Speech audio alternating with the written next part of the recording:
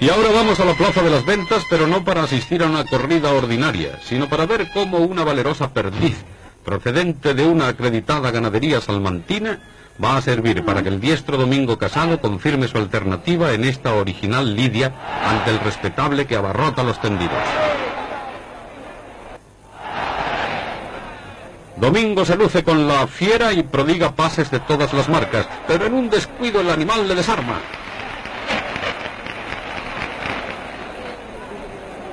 Un buen par, sí señor. Domingo prosigue su faena con una tanda de perdicinas que son muy jaleadas.